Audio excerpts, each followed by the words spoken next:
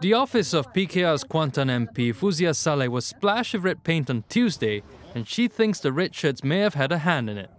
Rasa ada kemungkinan ianya berkaitan dengan insiden yang berlaku dua hari lepas di Rompin kepada baju kuning bersih yang sedang mengedar risalah di, di uh, Rompin dan ada provokasi yang timbul daripada pihak baju merah.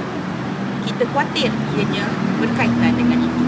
Fuziah said the incident, which happened at 11:36 p.m. and captured on CCTV, was a cowardly and desperate act.